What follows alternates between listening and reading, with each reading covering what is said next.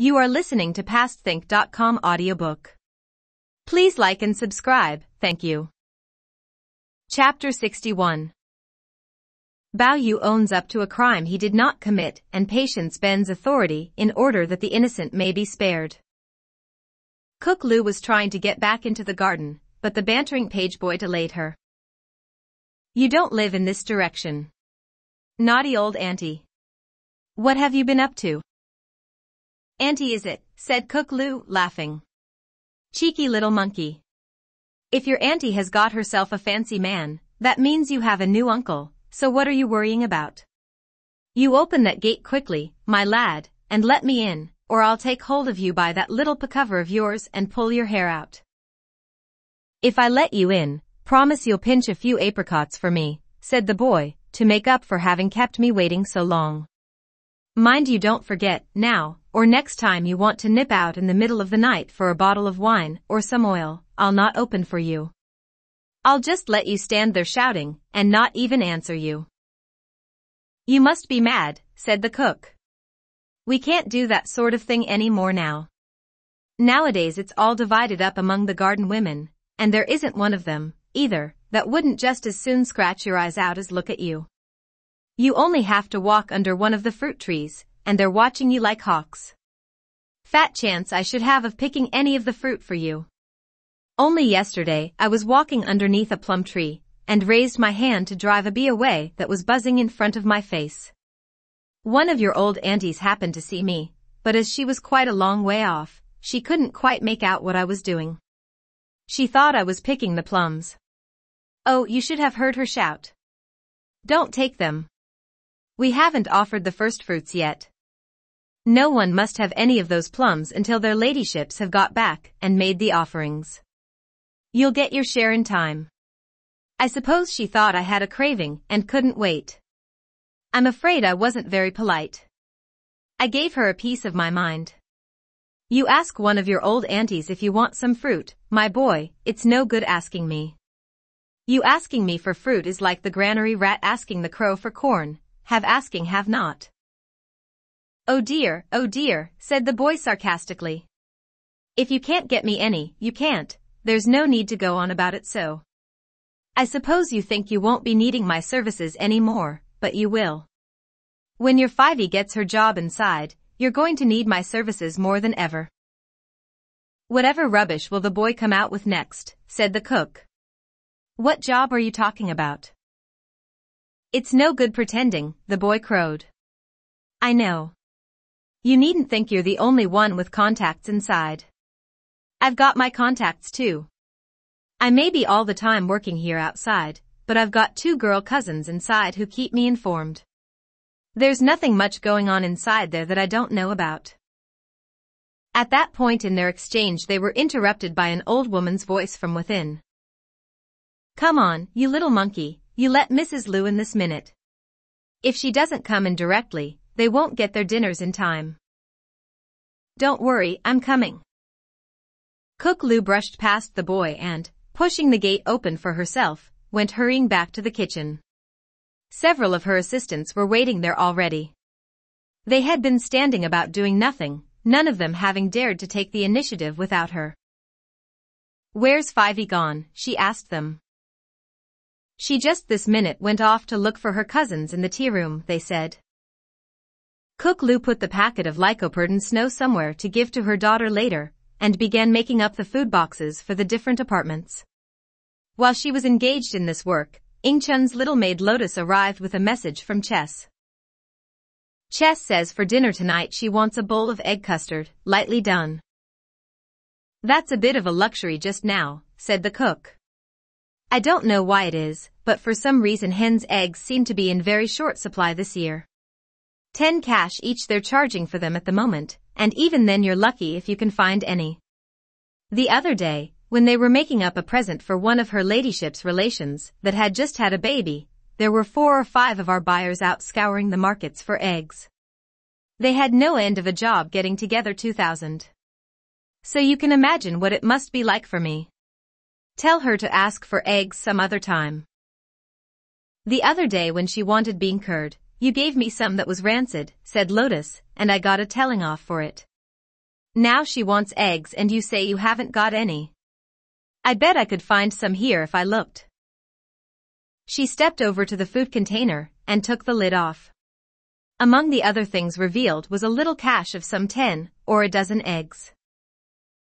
There you are, what are they then, she said. Aren't you terrible?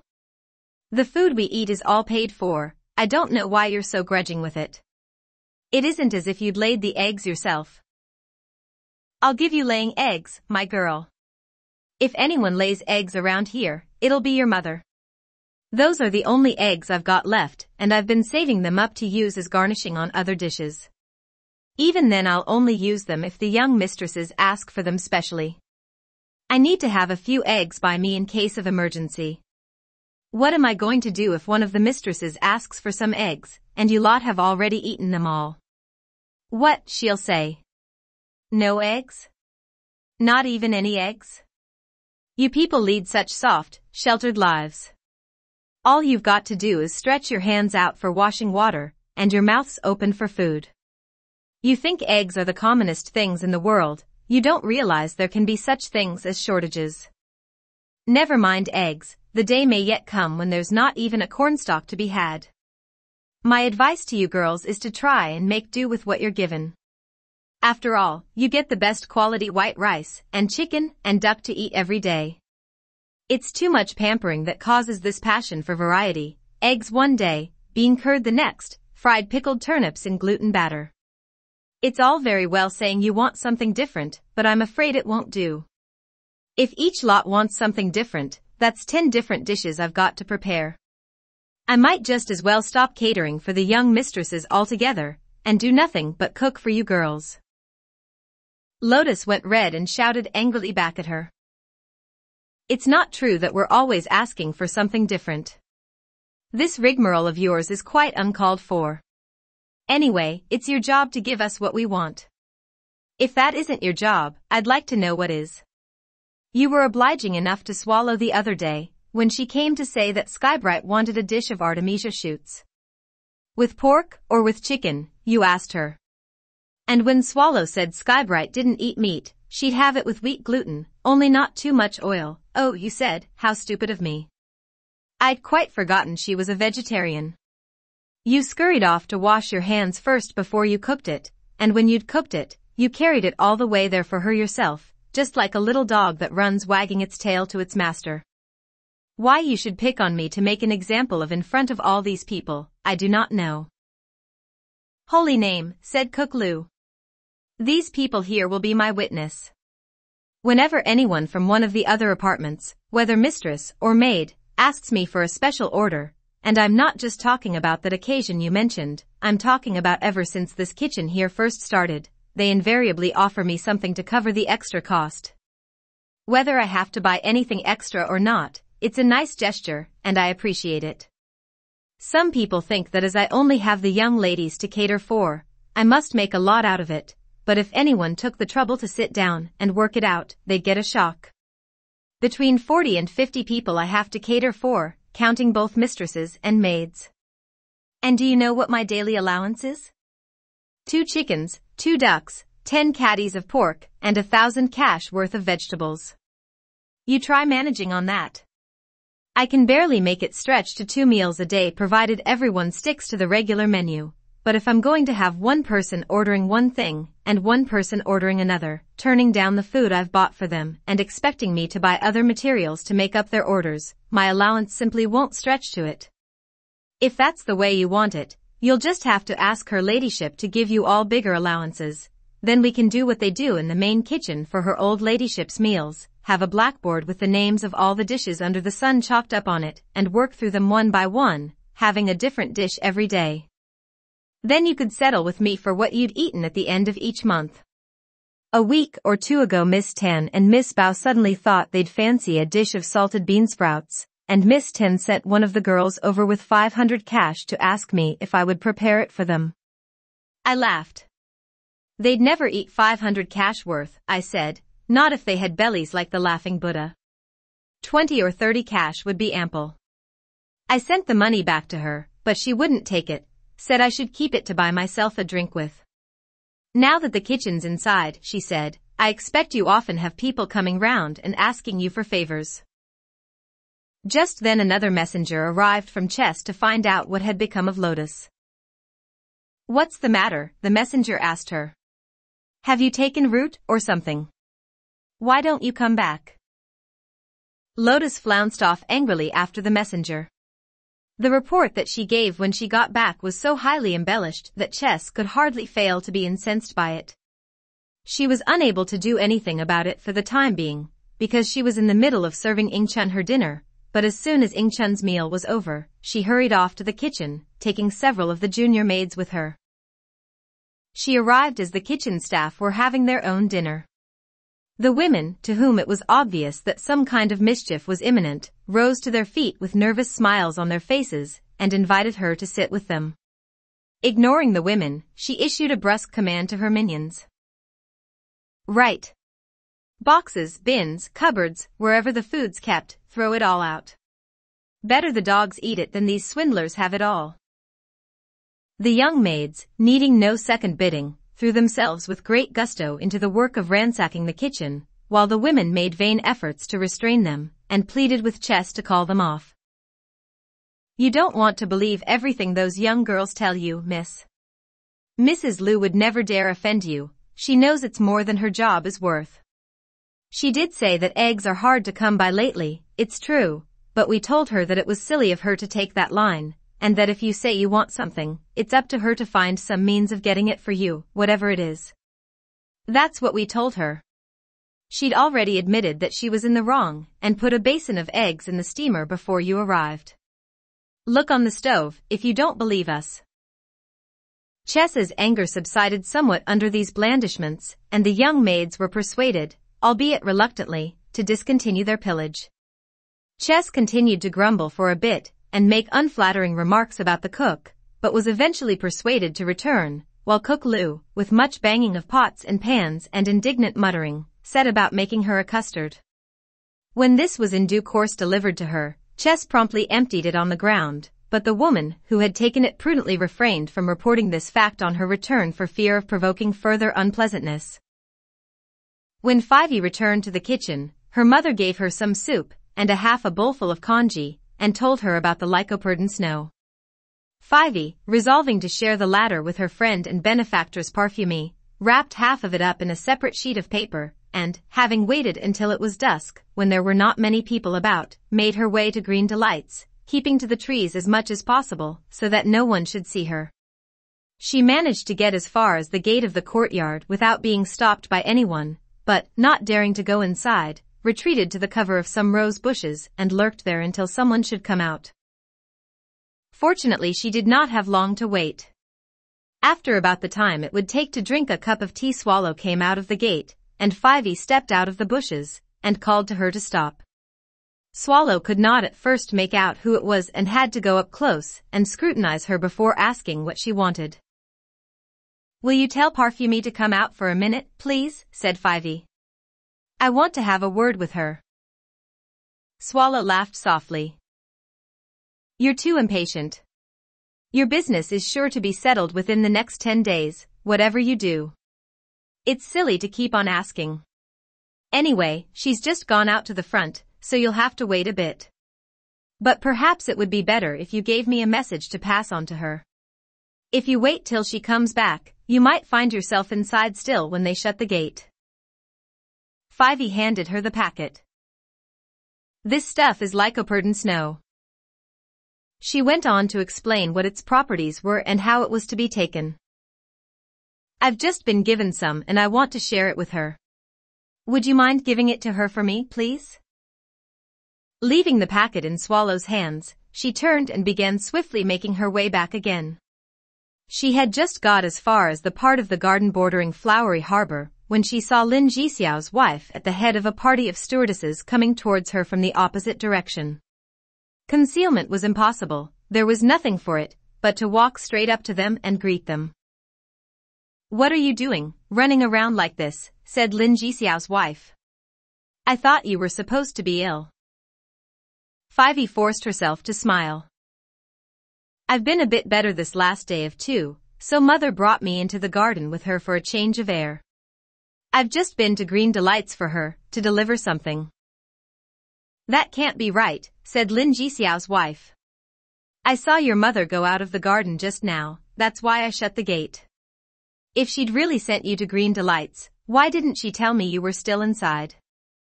Why did she go out and let me lock the gate without saying anything? You must be lying. Fivey was momentarily at a loss for a reply. Actually she told me this morning but I forgot, she stammered. I only just now remembered. Probably she didn't say anything about my being in here, because she thought I'd already gone home. Observing her confusion and the halting nature of her reply, Lin Zhi-xiao's wife remembered that Silver had lately reported some things missing from Lady Wang's apartment, which none of the other maids would admit to having taken and wondered if Fivey might be the thief. It was unfortunate for Fivey that Siggy and Lotus, together with a number of older servants, should have arrived on the scene at that moment and helped to confirm her suspicion. Give her a good grilling, Mrs. Lin, said one of these new arrivals. She's been sneaking to and fro all over the place this last day or two. I don't know what she's been up to, but she's certainly been up to something. Yes, said Siggy, and Silver told me yesterday that when they opened that cupboard in her ladyship's side room the other day they found a whole lot of things missing.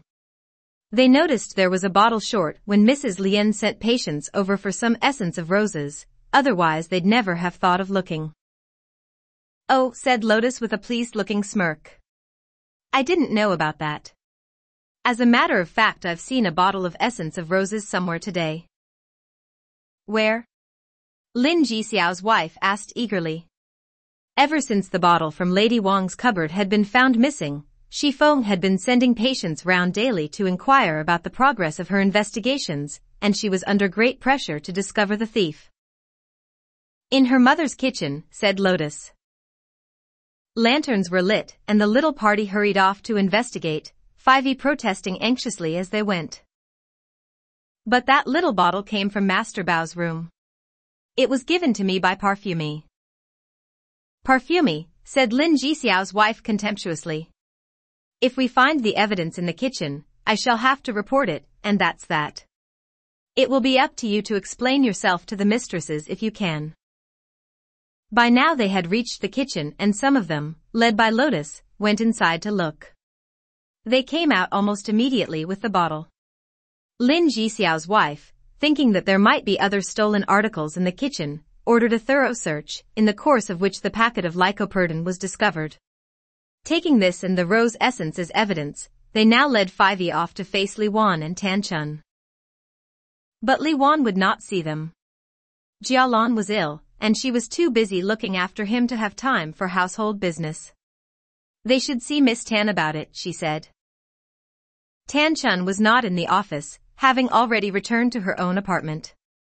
Off they all trooped then to Tan Chun's place, where one of their number went inside to announce their business. The maids were all in the courtyard enjoying the cool evening air. Tan Chun was inside, washing her hair, they said. Scribe went indoors to report. It seemed an age before she re-emerged. I told Miss Tan. She said you'd better find Patience and ask her to see Mrs. Lien about it. So off they went once more, this time to Wang Xi-feng's place, where they told their business to Patience. Patience, on going inside to report, found that her mistress had just gone to bed. Shifeng heard her through, after which she gave judgment summarily as follows. Give the mother 40 strokes, turn her out of the garden, and make sure that she is never employed inside the inner gate again. Give Fivey 40 strokes too and pack her off to the grange. They can either sell her or marry her to one of the hands. Patience relayed this verdict, word for word, to Lin Zhi-xiao's wife and the others waiting outside. Fivey, shocked and weeping, threw herself on her knees at Patience's feet and explained to her how Parfumée had given her the rose essence as a present. We can clear that up easily enough, said Patience. All we've got to do is wait until we can ask Parfumée tomorrow, to find out whether she gave it to you or not. But what about this lycoperdon stuff? That was brought here as a present for their ladyships.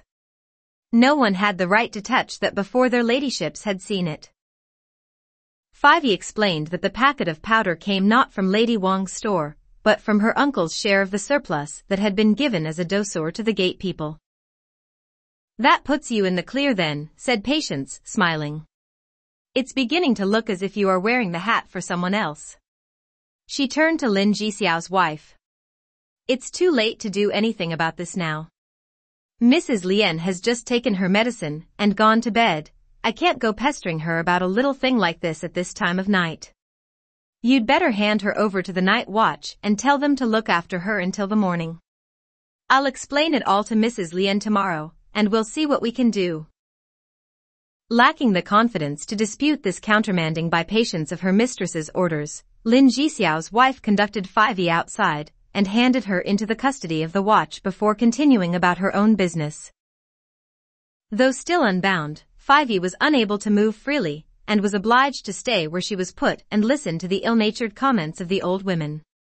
Some of them, assuming as a matter of course that she was guilty, rebuked her for her misconduct, others complained of the trouble that she was causing them.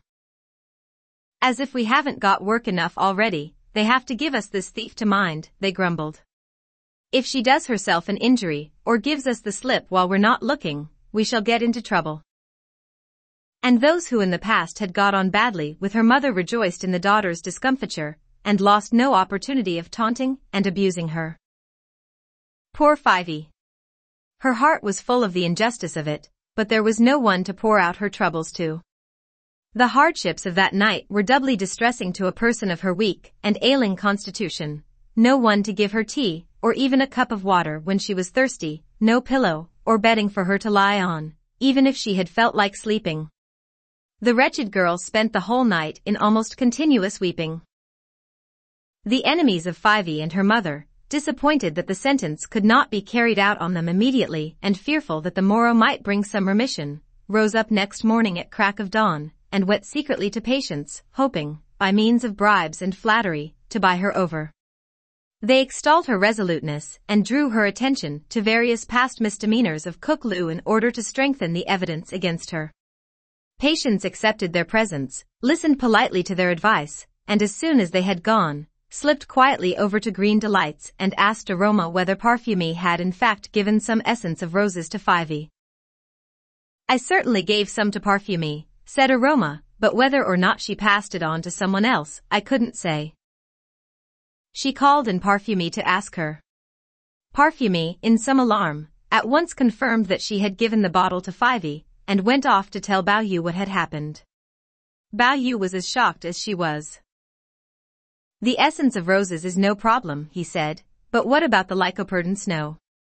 I'm sure what she told them about it was the truth, but if it gets known that her uncle took it while on duty, then he's going to get into trouble, which seems a rather poor exchange for his kindness. He thought he had better see Patience himself and point this out to her. Look, he said, the essence of roses can be accounted for easily enough, but that lycoperdon snow business still looks a bit fishy. Why don't you be a nice, kind girl, Patience, and tell them that the lycoperdon snow was given to her by Parfumée as well? Then that disposes of the whole affair. That's all very well, said Patience, smiling, but she told everyone last night that her uncle gave it to her. How can she now make out that she got it from you? And apart from that, don't forget that the bottle of essence of roses from her ladyship's room has still to be accounted for. If this isn't it, where are they going to look for it? It's not very likely that anyone else will own up to having taken it. Skybright stepped over at this point to join in the discussion. The essence of roses from her ladyship's place must have been stolen by Sunset to give to young Huan. It's as plain as the nose on your face. I don't understand why you're all making such a mystery of it. I know that as well as you do, said Patience, but it's not so simple. Silver, who was so worried about finding that bottle missing that she was in tears, did go, very quietly and nicely, and ask Sunset if she had taken it, and if Sunset had had the grace to say yes, Silver herself would have done nothing, and I'm quite sure that no one else would have made an issue of it. Who's going to stir up trouble about a little thing like that?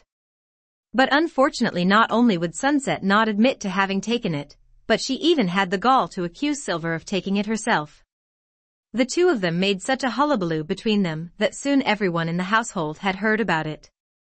By that stage I couldn't ignore the matter any longer, even if I'd wanted to. I had to investigate it. And the first thing I found, of course, was that the one doing all the accusing was actually the thief. But without any evidence, there was nothing much I could do. I can take responsibility for that too, said Bao Yu. You can tell them I stole the bottle from her ladyship's room to give the girls a scare. Now everything is accounted for. No doubt it's an act of merit to clear someone else of suspicion, said Aroma, but her ladyship won't be very pleased when she hears. She'll say you've been up to your old childish tricks again. Oh, that's of no consequence, said Patience. We could of course clear this matter up quite easily by looking for the stolen bottle in Mrs. Zhao's room. The only reason I hesitate to do that is because I'm afraid it would make things difficult for a certain person whose feelings I do care about very much. I know she would be distressed, and the last thing I want to do is damage the jade vase while trying to hit the mouse dot. She held three fingers up as she said this to indicate that it was Tan Chun she was referring to. Aroma and the rest nodded in agreement. That's true. Perhaps it would be better if Bao Yu took all the blame. Yes, said Patience, but at the same time I think we ought to call Sunset and Silver here and get this matter properly sorted out. We don't want whoever it is to think she can get away with it. If we do nothing, she's sure to think it's because we haven't the wit to find out rather than that it's for the reason I've just said, and she'll think she can go on stealing things with impunity. This being agreed on, Patience sent someone to call them over. Well, you can stop worrying now, you two, she said when they had arrived. They think they've found the thief. Where is she? said Silver. At the moment she's in Mrs. Lien's room being questioned, said Patience. She's admitted taking everything they've asked her about. I happen to know myself that she didn't take them, and is only confessing because she's frightened. Master Bao can't bear the idea of an innocent person suffering, and has already agreed to take responsibility for some of them. As regards the rest, I could tell them who the real thief is, but there are certain difficulties. One is that the real thief is a very good friend of mine. The other is that the receiver of stolen goods, who is a pretty poor specimen, is closely related to a very nice person who would be very much upset if all of this were to come into the open. It looks as if I shall have to ask Master Bao to take responsibility for the whole lot, so that everyone is clear of suspicion. Before I do that, however, there's something I should like to be clear about first. Can I be sure, if I do ask him to do us this favor, that everyone is going to be a bit more careful in future? Because if not, then rather than stand by and see an innocent person suffer, I shall have to tell all I know to Mrs. Lien. A blush had overspread Sunset's face while Patience was saying this. Her natural decency suddenly getting the better of her compelled her now to speak. Don't worry, Patience. There's no need for any innocent person to suffer, and there's no need for that other person you mentioned to be upset. I stole those things. It was because Mrs. Zhao kept on at me to take them. I stole them to give to Huan. Even when her ladyship was here I often used to steal things for him, so that he could give them away to his friends. I thought that the fuss made when they found out that things were missing would die down in a day or two. I can't stand by and let an innocent person take the blame. You'll have to take me with you to Mrs. Lien, and let me make a clean breast of it. Her courage took all of them by surprise. You're a good sort, Sunset, I always knew you were, said Bao Yu admiringly, but there's really no need for you to tell her. All I've got to do is say that I stole those things for a lark, to give you all a scare, and that now there's been all this fuss about them, I feel I ought to own up. There's only one thing, though. I really must ask you girls to be more careful in future, for all our sakes. I did it, said Sunset, it's up to me to face the music. Patience and Aroma disagreed. That's not the way to look at it at all. If you confess, there's sure to worm something out about Mrs. Zhao, and that will upset Miss Tan again when she gets to hear about it. You'd much better let Master Bao accept responsibility, so that everyone is cleared. Nobody except the few of us here knows the truth, so it's terribly easy for him to do this. But as Master Bao says, you really will have to be more careful in future. If you must take anything, at least wait until her ladyship is here. When she's back, you can give the whole room away if you like, because then we shan't be involved. Sunset hung her head and pondered for some moments before finally agreeing to go along with this. When it was settled exactly what they should do, Patience went with Parfumée, and the two maids from Lady Wang's apartment to the watch room, called out Fivey, and quietly instructed her to say that the lycoperdon snow as well as the essence of roses had been given to her by Parfumée. Fivey was deeply grateful. Patience next took Fivey with her to Wang Xi-feng's place, where Lin Zhi-xiao's wife and her helpers had already been waiting for some time with Fivey's mother in their custody. I brought her here first thing, Lin Zhi-xiao's wife told Patience in reference to her prisoner. As that left no one to get the lunch ready, I put Qin Xian's wife temporarily in charge, so that the young ladies should get their meal on time. Who is Qin Xian's wife? said Patience. I don't think I know her.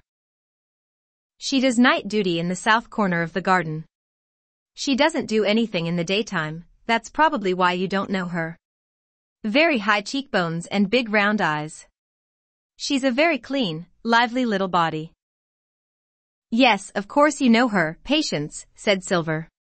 She's the auntie of Miss Ying's maid, Chess. Chess's father works for Sir Shi, but her uncle and auntie work on this side of the mansion with us. Patience remembered with a laugh. Oh, that's who you've chosen. If you'd told me that, I should have known who you meant. She laughed again. You've been a bit too quick with your appointment. It's all cleared up now, this business. The waters have gone down and we can see the rocks. We know now who the real thief was who stole that stuff from her ladyship's room. It was Bao Yu. He went round to her ladyship's apartment some days ago and asked Silver and Sunset for something, and just for a tease the silly girls said he couldn't have it, because they couldn't give him anything while her ladyship was away. So he simply slipped in later on when they weren't there and helped himself. When these two found the things missing, they were scared out of their wits. But as soon as Bao Yu heard that someone else had been accused of taking the things, he told me everything. He even brought them round to show me, so that I could see they exactly corresponded with what the girls had told me was missing. As regards the lycoperdon snow, that was something that Bao Yu had got from outside. He's been giving it away to all kinds of people, not only in the garden, one or two of the old nannies begged some off him to give to their relations outside, and they have given it to other people as presents, and Aroma gave some of hers to Parfumée, and that lot, and they've been passing the stuff to and fro between themselves. So you see, it's all over the place. The two baskets that were left in the jobs room the other day, for their ladyships are still untouched. The seals on them haven't been broken. So as far as that's concerned, there are no grounds for a charge either. If you'll wait here a few moments longer, I'm just going in to tell Mrs. Lian about this, and we'll see what she says. Patience then went into the bedroom, and repeated almost verbatim to Xi-feng what she had just been telling Lin Zhi-xiao's wife. That's as may be, said Xi-feng when she had finished, but we all know how ready Bao Yu is to cover up for other people. Someone only has to go to him with a hard luck story, especially if there's a bit of flattery thrown in with it, and he'll own up to anything in order to get them off. If we believe him now, how are we going to deal with more serious cases later on? I think this needs going into more carefully. I think you ought to get hold of those girls from her ladyship's apartment, and, well, I wouldn't say torture them exactly, but you could get them to kneel in the sun on broken china all day without anything to eat or drink. If one day doesn't make them confess, just go on day after day until they do. They're sure to give in sooner or later, even if they're made of iron. And as for that Lu woman, she went on, you know what they say. When flies gather on an egg, it's generally a sign that there's a crack in it. She may not have stolen anything in this instance, but I suspect she's no better than she should be for all these people to be complaining about her. We'll let her off the flogging, of course, but I still think we ought to dismiss her. Even in the emperor's court people get punished for what they call guilt by association, so she can't complain if we sack her merely on suspicion. Yes, but why bother, said Patience. They say that where mercy is possible, mercy should be shown. What better opportunity than this could you have of showing yourself merciful for once? Look at all the trouble you give yourself on account of these people, and they aren't even your own household, it's Lady Xing's household that you really belong to. And where does it all get you, at the end of the day? All you do is build up a lot of resentment against yourself and turn a lot of nasty, spiteful people into your enemies. A person in your delicate health can't afford to make enemies.